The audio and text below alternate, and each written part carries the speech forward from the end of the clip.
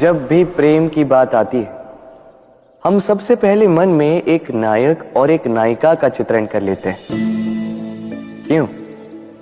आपके साथ भी यही होता है ना? पर क्या प्रेम केवल नायक, नायिका के आकर्षण का बंधन है? नहीं।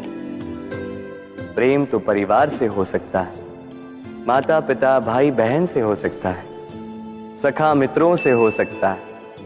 देश और जन्मभूमि के लिए हो सकता है। मानवता के लिए हो सकता है। किसी कला के लिए हो सकता है।